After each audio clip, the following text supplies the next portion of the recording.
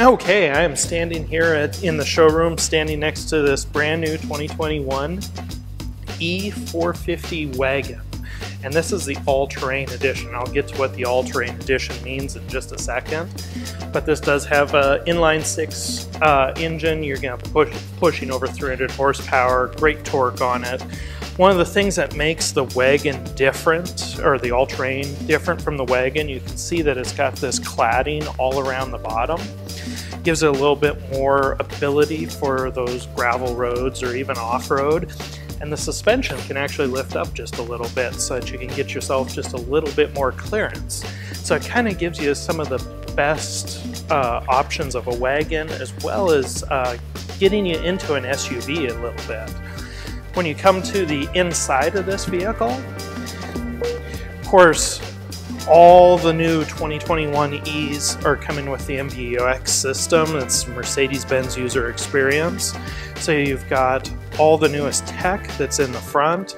Um, of course, it's an E-Class, so comfort and luxury is not uh, missed at all. You've got the Burmester sound system on here, heated and ventilated seats, just everything that makes uh, E-Class an E-Class.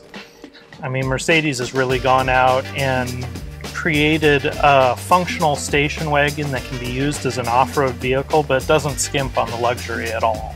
Another awesome feature of any of the E-Wagons is just how spacious they truly are. As you can see, I'm sitting comfortably in the rear seat. Um, do have some comforts as well, so I've got uh, seat heaters, and there's uh, some charging ports here.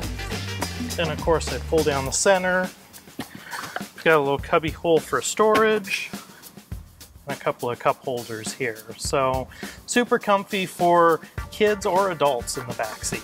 And then coming around to the back, one of the funnest features of the, the E-Wagon is just like station wagons of the past, there is a rear-facing foldable seat.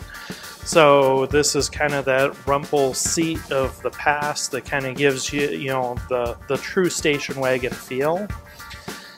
And then, uh, of course, it can be folded down and you've got all this area for storage as well.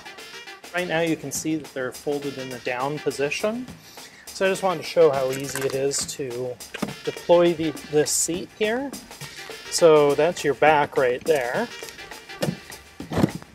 And then there's your seat. And then you just pull your buckle strap out of there. Fold up your headrest and you're ready to go. So just like that. Then to put everything back, just as easy. So you first start by fold or putting your seat buckles back in. Grab this strap, set it there. There's a little button underneath here. I'll fold that in. Push it down, and you're back in cargo mode, just like so. So all the features on this car, there's far too many to mention in a quick video like this, but come on down and take a look at it. It, it is a very unique vehicle and you'll find that it, it's very functional as well. So come on down, see me, Martin Loving, at Mercedes-Benz of Tri-Cities.